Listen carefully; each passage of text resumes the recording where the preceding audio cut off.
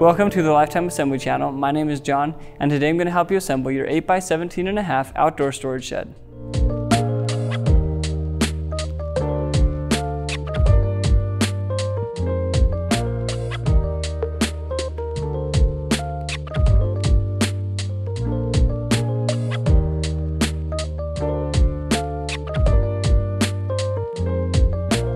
Before we get started, make sure the model number of your shed is listed in the description below. This video will follow the steps outlined in the assembly manual that comes with the shed. If you've already begun and need help on a specific step, check the description below for a timestamp associated with each step. Your shed comes on a pallet in three separate boxes, so let's take a look at what you should have received.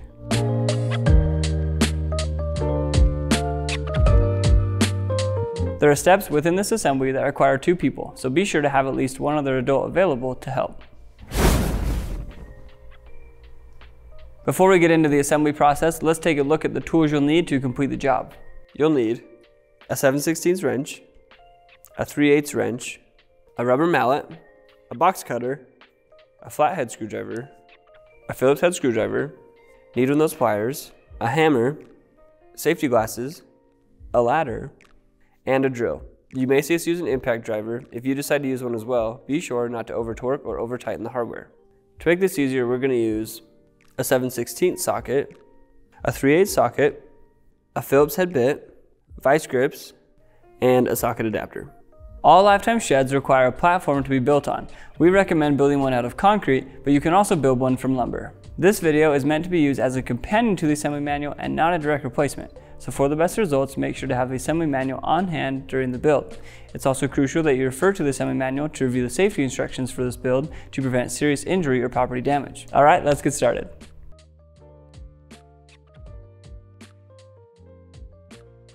This section will go over how to build the foundation of your shed. This video will focus on the assembly of the shed and not the foundation, so it's important that you refer to your assembly manual in section 1 to see how to properly build the foundation of your shed.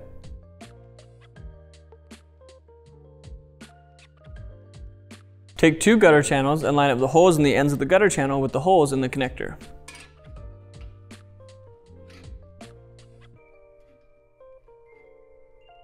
Secure the gutter channel to the connector with the hardware.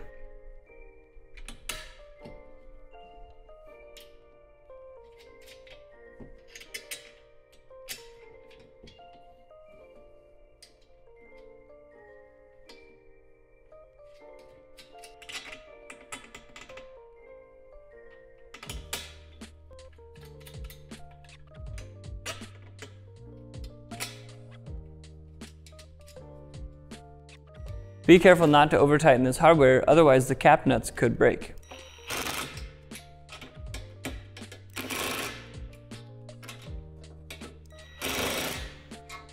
Line up the holes in the middle of the gutter channels with the holes at the end of the truss brace and add the hardware, making sure that the head of the bolt is on the inside of the gutter channels.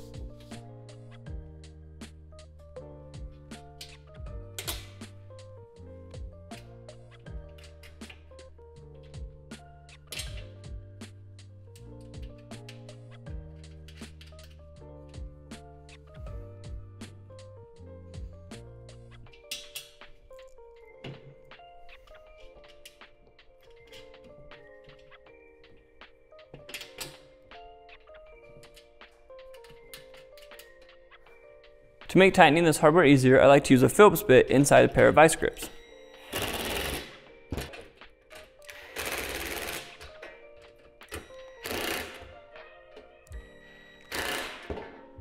Next, insert the truss rod into the connector and the truss brace and then secure with the two nuts.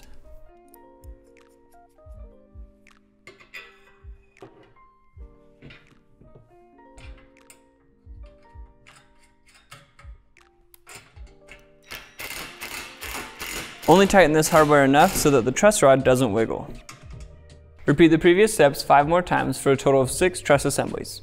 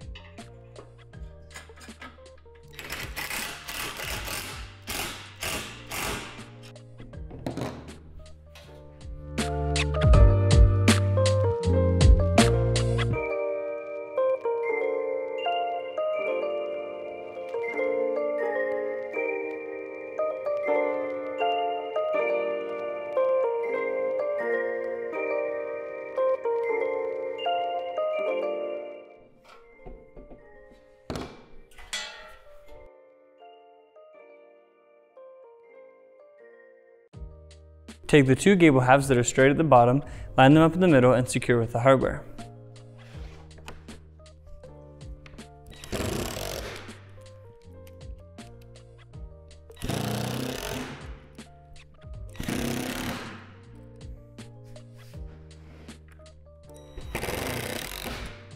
Line up the holes in the screen with the holes in the vent, and then place it on the front side of the gable and secure with the hardware.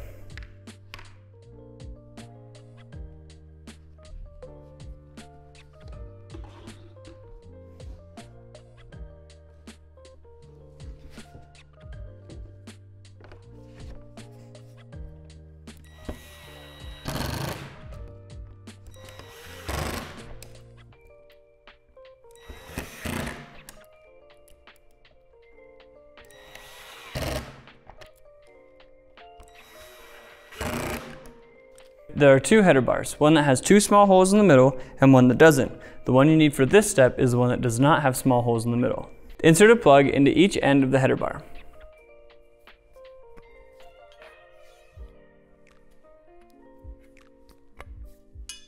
Line up the holes in the header bar with the divots in the gable and then secure with the hardware.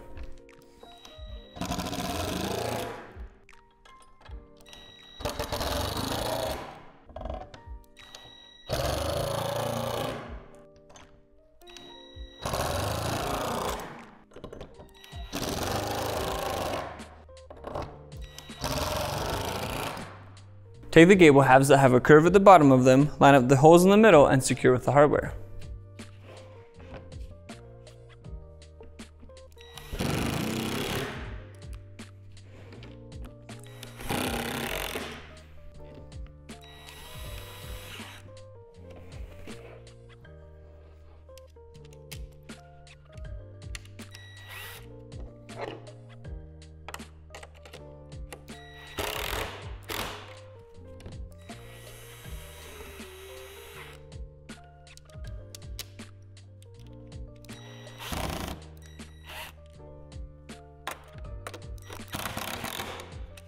Line up the holes in the screen with the holes in the vent and then place on the front side of the gable and secure with the hardware.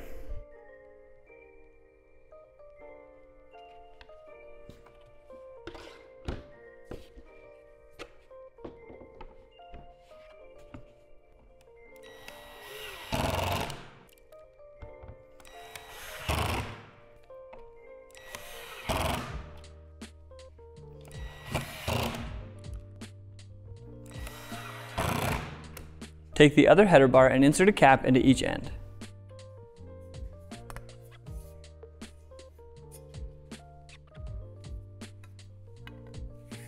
Line up the holes in the header bar with the divots in the gable, making sure that the flat side of the holes is facing up and that the square dimpled hole in the middle is facing towards you.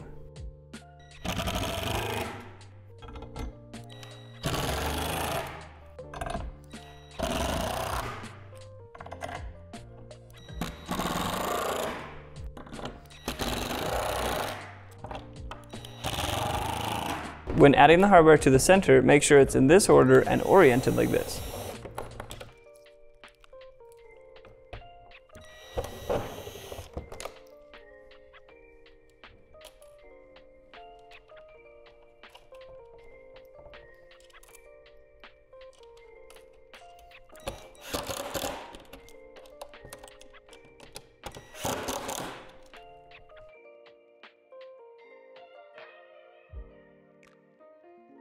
Insert a hinge tube into the round hole on the left door, which is the door with the Lifetime logo.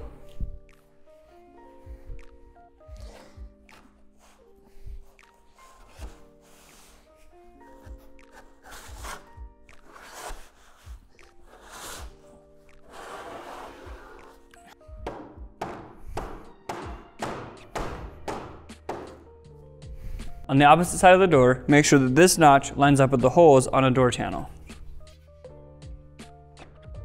Then slide the door channel onto the door, but before you do, make sure to put your deadbolts into the notches at the top and bottom of the door, making sure they're oriented like this.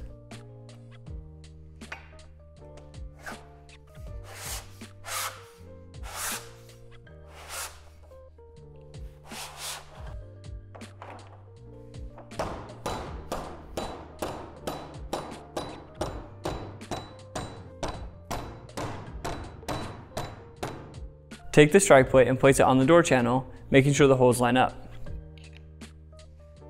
Place the door latch bracket over the strike plate like this and secure with the hardware.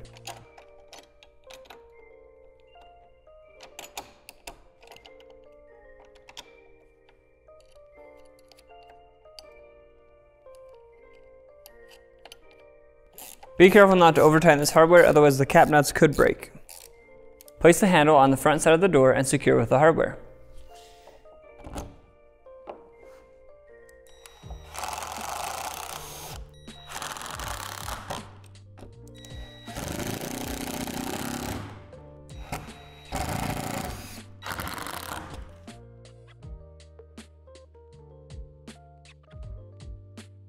Take the right door and insert the hinge tube into the round hole on the edge of the door.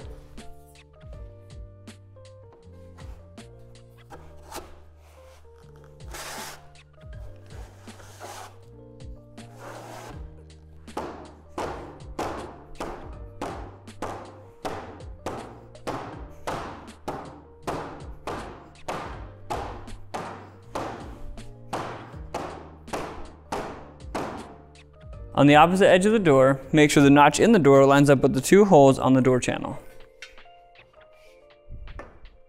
Slide the door channel onto the edge of the door.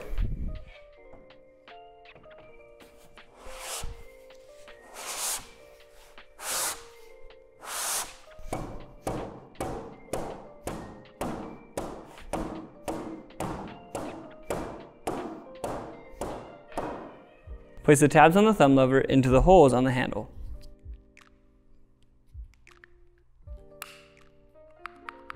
Insert the handle into the front side of the door and then secure with the hardware on the back side.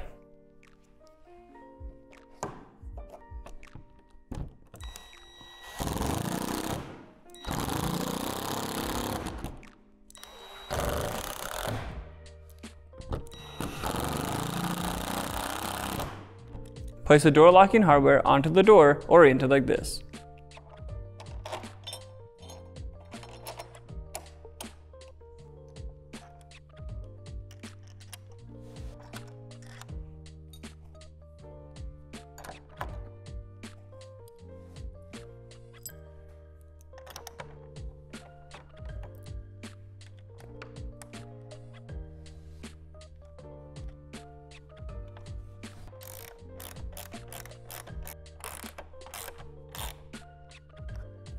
Add the bracket to the lever oriented like this.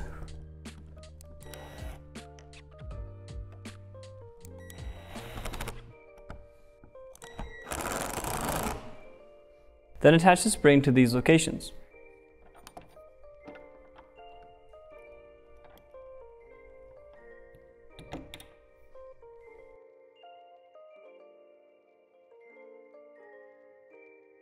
With the help of another person, connect the floor panels together by lifting one panel up at a 45 degree angle, interlocking the tabs, and then laying it back down.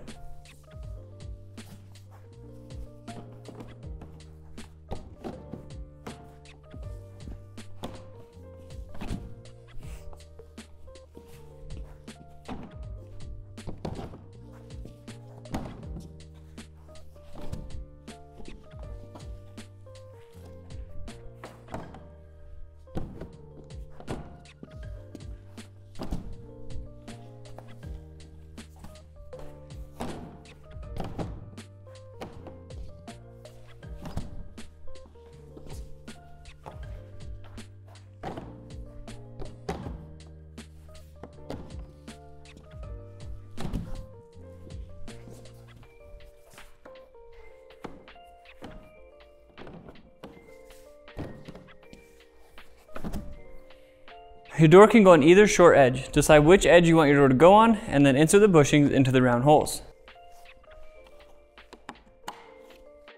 Locate the divots on the edge of the floor panels and insert the hardware to secure them together.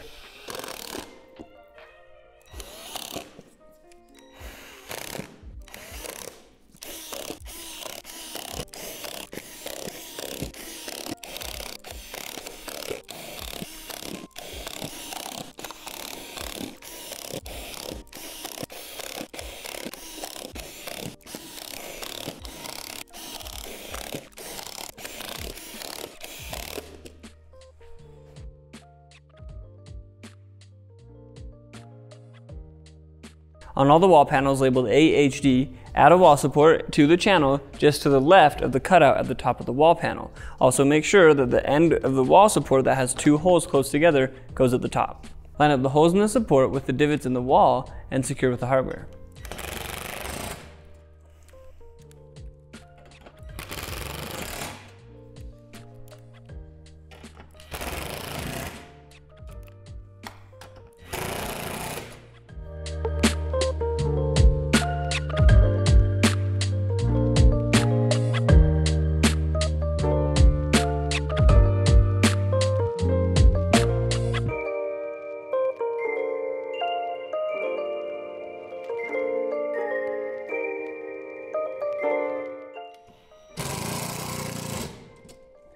Take the corner wall panel labeled AGY and insert the wall support into the channel on the edge, making sure that the two holes that are close together on the wall support are at the top.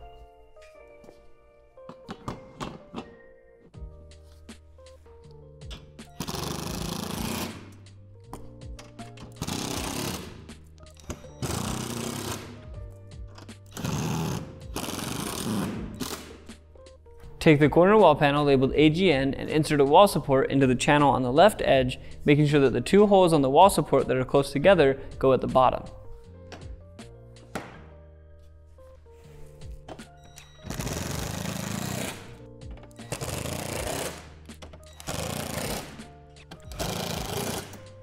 Take the window wall panel and insert the short wall support into the channel just to the left of the center, and then insert the hardware, but make sure to insert the hardware at an angle.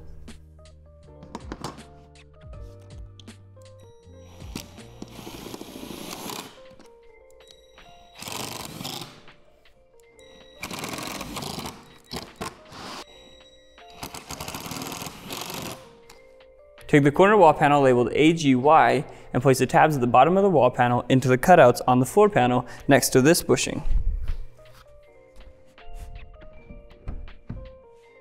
Slide the panel over to lock it into place. I'm comfortable using my foot, but if you're not, you can use a block and a rubber mallet. Lean the panel away from the floor, fold the panel in half, line up the tabs at the bottom of the wall panel with the cutouts on the floor. Then apply downward pressure to lock into place. If you're having a hard time getting the tabs to click in, you can use a block under each tab as you apply downward pressure.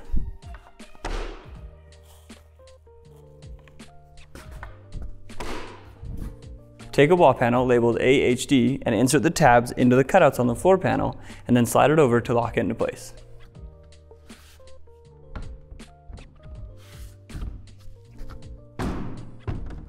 Make sure the line at the top of the wall panels are even and then secure the two panels together.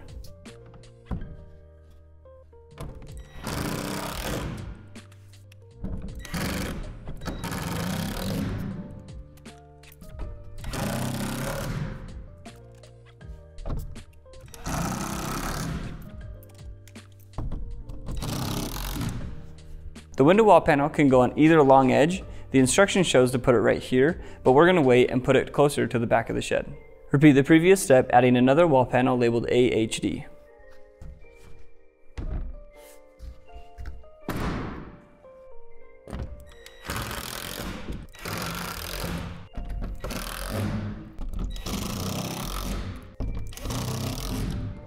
Continue adding wall panels labeled AHD along this edge of the shed.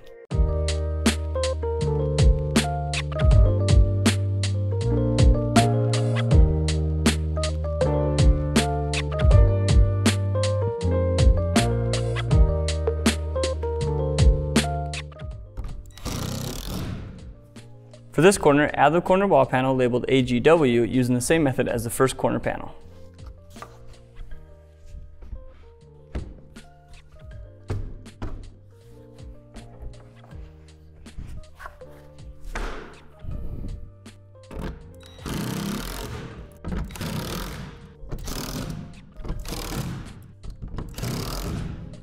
Add two more wall panels to the back edge labeled AHD. Keep in mind these panels must be labeled AHD.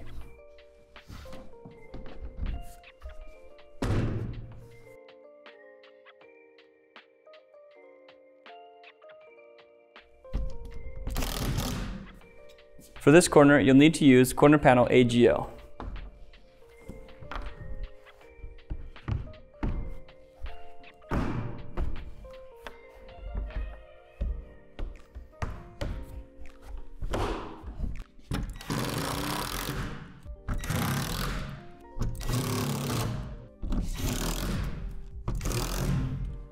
Continue adding six wall panels labeled AHD to this side of the shed.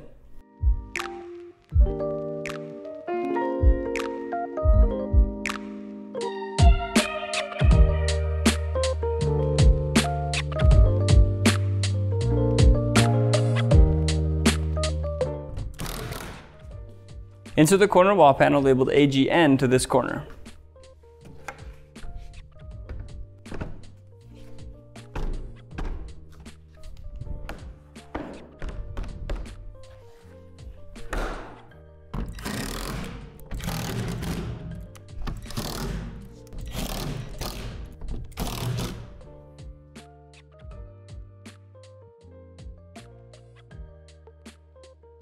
These holes in the corner wall panel represent the three different height settings you can choose for your shelf. Decide how high you want your shelf to go, and then insert the brackets into the wall supports at the corresponding height.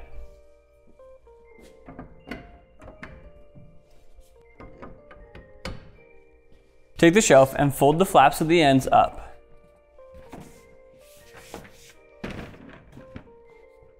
Place the shelf on the brackets, making sure that these notches go against the back wall.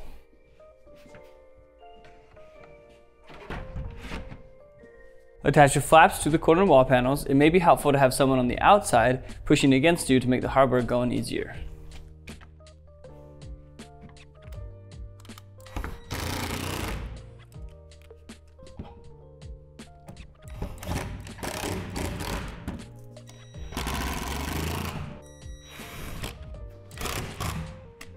Now secure the shelf to the brackets.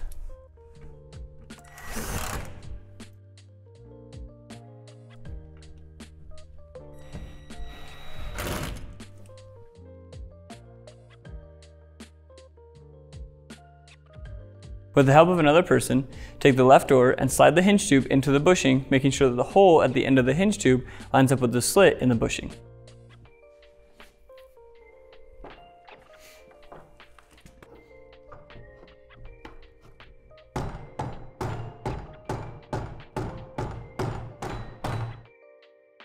Then insert the cotter pin from the front side and expand the ends to secure it into place.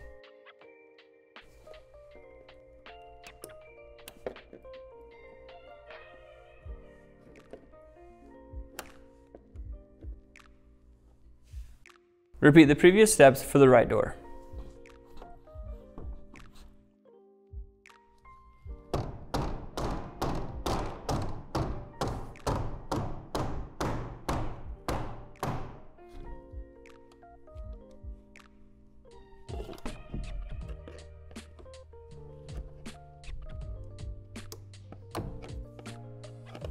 Close the doors and with the help of another person, lift the gable that has a curve at the bottom of it onto the hinge tubes and secure to the wall panels with the hardware.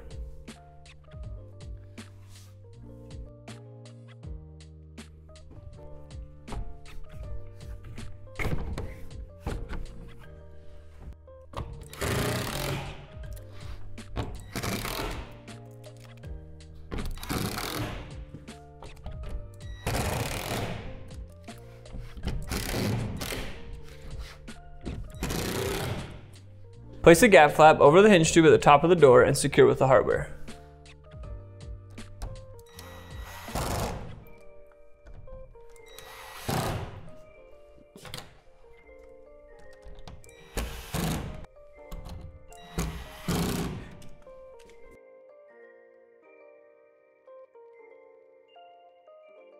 Take a truss and insert it into the cutouts closest to the gable that we just installed.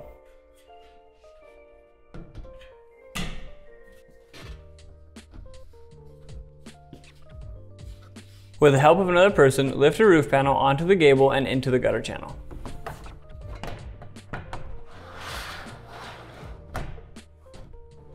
You'll know the roof panel is in the correct position when the alignment nub on the roof panel lines up with the notch in the gutter channel. Secure the roof panel to the wall panel through the bottom four holes.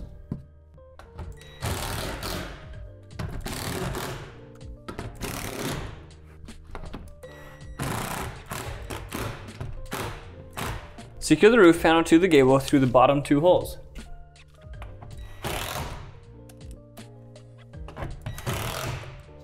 Secure the opposite edge to the truss through the bottom two holes.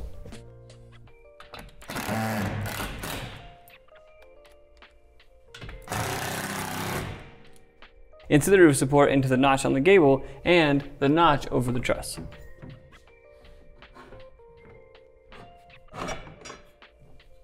Finish securing the roof panel through the remaining three holes.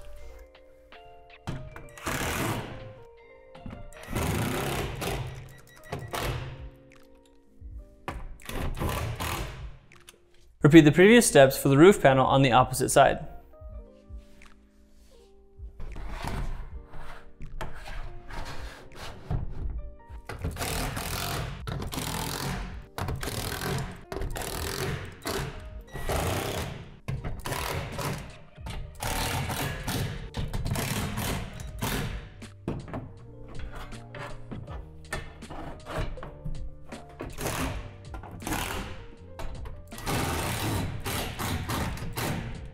Add another truss to the next set of notches at the top of the wall panels.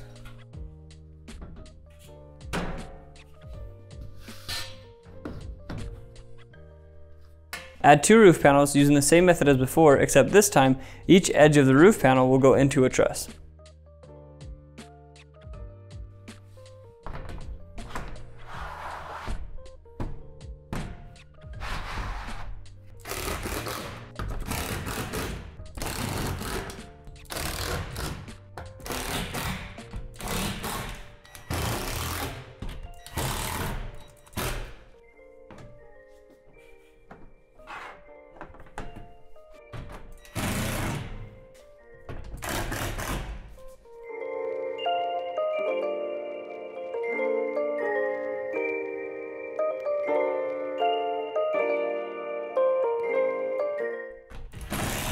Repeat the previous steps for the next four trusses and eight roof panels.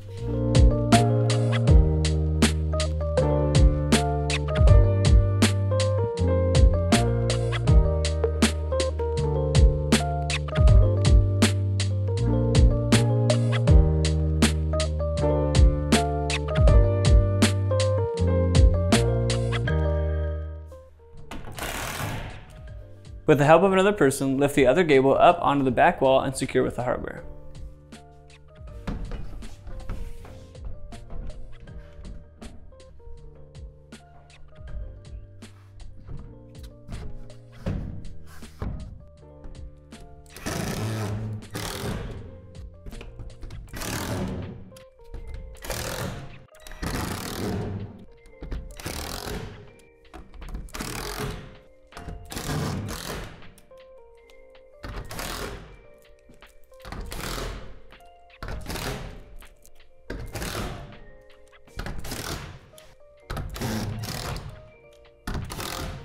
Add the final two roof panels using the same method as the first two roof panels.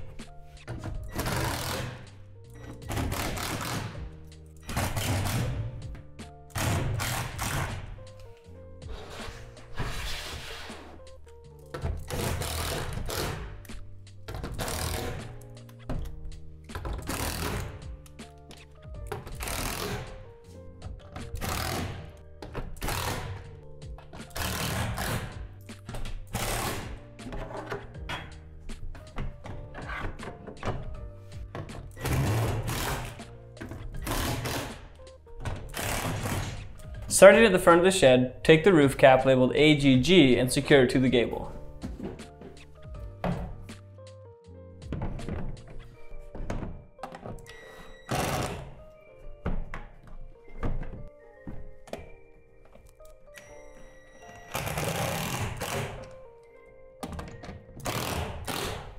Next, take the roof cap labeled AFY, overlap the previous roof cap, and secure it to the truss and panels.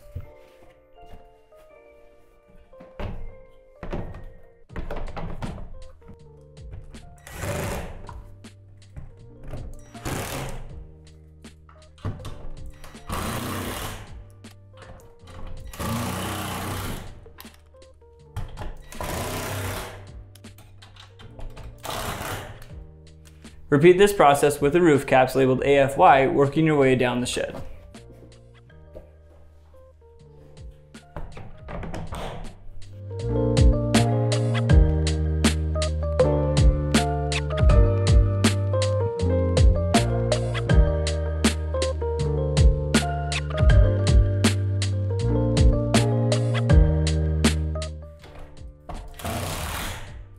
The final roof cap going to the end of the shed will be labeled AFW.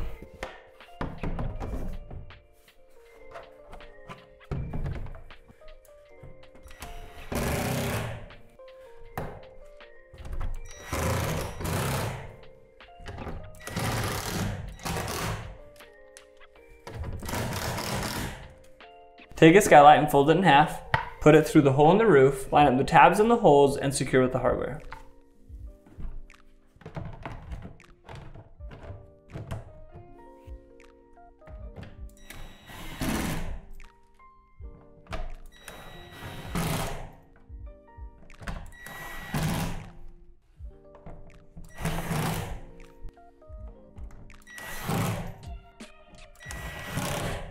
Repeat this process for the six remaining skylights.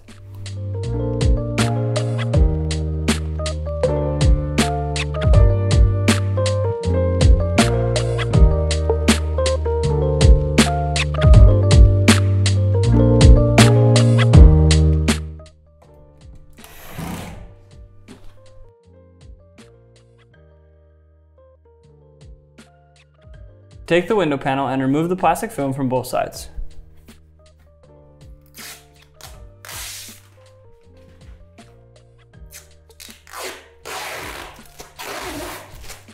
Insert the window into the frame, making sure that the lip at the top of the window is facing out.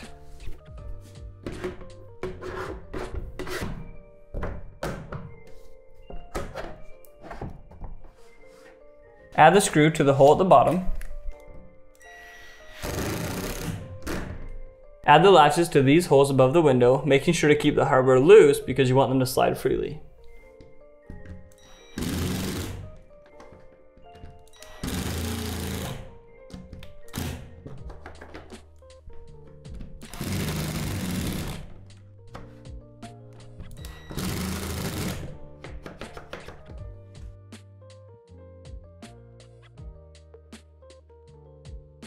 Take the wall hooks and insert them into these recesses throughout the shed.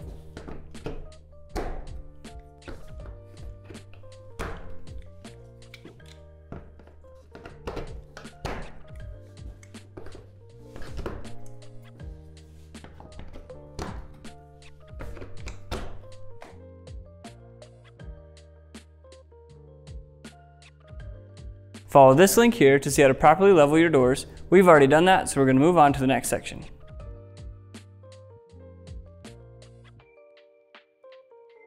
This section will go over how to properly anchor your shed to your foundation. Since we're inside, we're not going to be able to do that, but it's important that you do. So refer to your instruction manual in section 14 to see how to properly anchor your shed. Thank you for watching this video on how to assemble your lifetime 8 by 17 and a half foot outdoor storage shed. If you found this video helpful, give us a thumbs up. For more content like this, subscribe to our channel. If you have any other questions, feel free to reach out to our customer service team and check out our other awesome products at lifetime.com.